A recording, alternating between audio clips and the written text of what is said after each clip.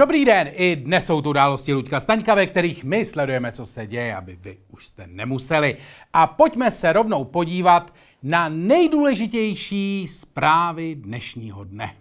Bez jištění chtěl vylézt na útes, skončil s rýmou v helikoptéře. Ano, berte to prosím jako varování. Pokud polezete na útesy nebo na skály bez jištění, hrozí vám rýma. A řeknu vám, taková rýma není nic příjemného a už vůbec ne v helikoptéře, kde s tou rýmou skončíte. Ano, v helikoptéře, takže neleste bez jištění. S podobně naléhavou informací se ke čtenářům obrací i další titulek. Neházejte nám sem děti přes plot, prosí francouzská školka. Ano, Prosím vás, lidi, chovejme se jako lidi, jsme přece lidi. Jako já to chápu, každý z nás někdy pohodil nepotřebné dítě a kdo říká, že ne, tak je pohazuje dodnes, ale házet je přes plot. Prosím vás, kde to jsme? Já vím, že když jde člověk kolem takové školky a vidí, kolik je tam za plotem dětí, tak si říká, že by se tam ještě jedno navíc určitě ztratilo. Ale takhle to nejde protože to tam pak začne házet každý a pak nám vznikají za plotem u školek divoké dětské skládky. Já vím, že pan profesor Flegr říkal, nakládejte s dětmi jako s nebezpečným odpadem, ale ruku na srdce. Házíte snad přes plot do školky použité stříkačky, kyselinu z baterií nebo prošlý jed proti slimákům? Ne, tak vidíte. Tak tam ani nevyhazujte děti. No nic, Pojďme na další titulek. První foto Maradony po operaci mozku. Schovali ho za plachtu, chirurg odjel na motorce. Nevím, co jste si po přečtení tohoto titulku představili vy, ale my máme jasno. Takhle vypadá v naší fantazii foto Maradony, který je po operaci mozku schovaný za plachtu, zatímco chirurg odjíždí na motorce. No uznejte, je to realistická představa. Jinak to být ani nemohlo. No nic, pojďme dál. Tenhle titulek je z AHA. A AHA to už je jiný kafe. Prostě šťabajzna Georgina, hele, moře a zadek. Koho by taková informace nezaujala? Tomu říkám pořádný zpravodajství a vůbec zadek a moře je fascinující fenomén. Ernst Hemingway o tom napsal celou knihu. No nic, pojďme dál. Totální tragédie Kubišové. Problém odhalil záchod tak tohle už je vyloženě investigativní žurnalistika a já si pod tím titulkem nic nechci představovat. Ale uznávám, že v dnešní České republice jsou jen dva lidé se skutečným kreativním zaměstnáním. Člověk, který vymýšlí titulky na webu AHA a člověk, co vymýšlí názvy videí na serveru Free Video. No nic, pojďme dál. Špinavý rozchod Kolince, smraďoch, rok se nemil, Ne, ne, ne, ne, ne. To už si vůbec nechci představovat. A vůbec je na čase, abyste si začali víc představovat vy. Schválně.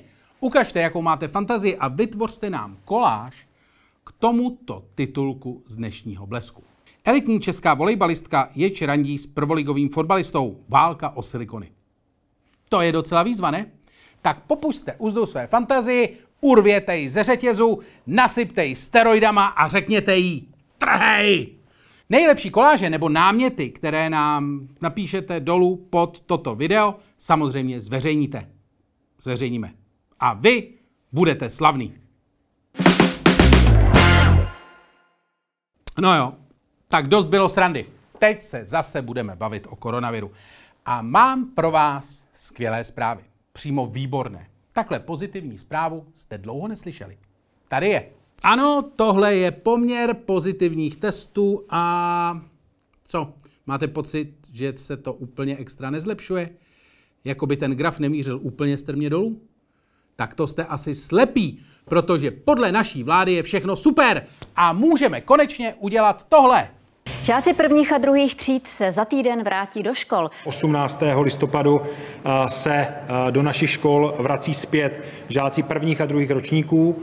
Vrací se rovněž eh, žáci přípravných tříd základních škol a eh, vrací se také žáci eh, škol speciálních.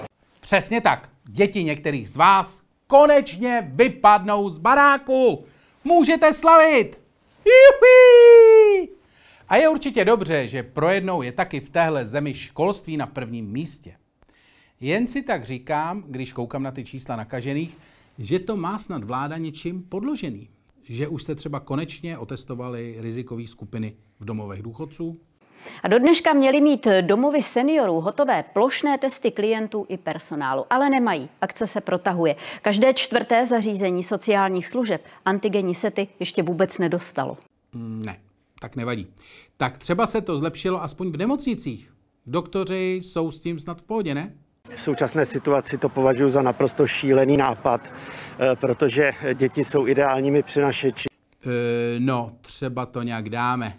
Nebo třeba ne. Třeba se pod blaníkem kromě rytířů schovávají i blaničtí doktoři a sestry. A trasování? Vzpomínáte, trasování funguje už konečně? Do dohledávání rizikových kontaktů lidí s pozitivním testem se policisté zapojili zatím ve třech krajích. Právě v těchto regionech během posledního měsíce stoupl počet nakažených, kterým epidemiologové nezavolali do 24 hodin. Taky ne. Nefunguje vůbec nic, protože se nepřekvapivě přes noc z naší země nestalo druhé Švýcarsko. Mimochodem, v reportáži jste slyšeli dobře, s trasováním teď pomáhá policie. A k tomu mám dvě poznámky. Za prvé, díky moc. Bez ironie, všichni jsme rádi. A za druhé, tohle bude ještě obrovská prdel. Podle kriminalisty Miloslava Karabce hlavní rozdíl mezi jeho běžnou prací a trasováním. Komunikace s těmi osobami probíhá telefonicky, na dálku, ale v podstatě je, je to podobné. Máte na včerejší večer alibi? A máte svědky? Ha! Já jenom jestli jste se náhodou nepotkal s někým nakaženým. Nebo bude jednou volat hodnej polda a po druhý zlej polda? Podle jednoho budete mít pozitivní test a podle druhého negativní? Těžko říct. Ale nejspíš se to nedozvím, protože trasovat se pořád nestíhá. Tak to zkusíme jinak. Třeba měla vláda alespoň nějaká spolehlivá data, podle kterých se takhle rozhodla. Jsou určité, určitá data ze zahraničních studií, musím říct, že často jsou protichůdná, takže si nemyslím, že je můžeme a priori eh, úplně aplikovat na naše podmínky. Takže není žádný důvod o tom mluvit. Dobře, děkujeme za zajímavý příspěvek do debaty. A nějaká data za Českou republiku třeba? Co? Z dat, která